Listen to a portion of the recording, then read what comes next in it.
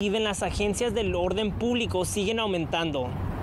Según estadísticas proporcionadas por Milpa, entre el 2010 y el 2018, las detenciones de adultos disminuyeron en un 15% y las detenciones de adolescentes disminuyeron en un 71% y solo el 30.5% del presupuesto general del condado es utilizado en programas de asistencias de cultura y recreación.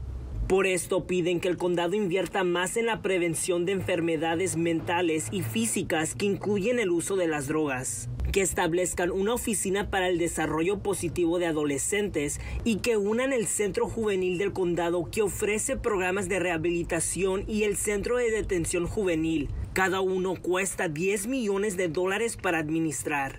No nomás para salvar los millones de dólares que pueden salvar y si es un centro y no dos, pero usar ese mismo dinero para, para ayudar a, la comunidad ah, con eh, servicios de salud, servicios para jóvenes. Las otras exigencias de la organización incluyen invertir en programas educativos, viviendas asequibles y programas de diversión para prevenir las detenciones.